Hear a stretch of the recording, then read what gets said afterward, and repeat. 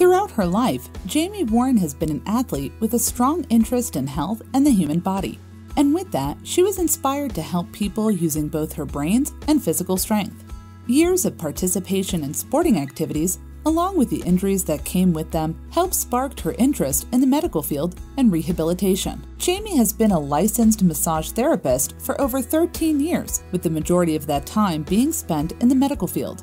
In this setting, she interacts with all types of people, ailments, and conditions. In the chiropractic setting, she has learned how massage and chiropractic go hand in hand to provide the best outcome for her patients. Jamie has a vast body of experience in sports injury care and prenatal care, as well as various medical massage techniques. More recently, she has expanded her specialized training to include advanced oncology massage for pain relief from cancer or cancer treatments, and manual lymph drainage, a key therapy in the reduction of swelling and inflammation. Jamie has clearly found her niche at Port Orange Chiropractic, where she is able to utilize her skills and knowledge for the betterment of one's health.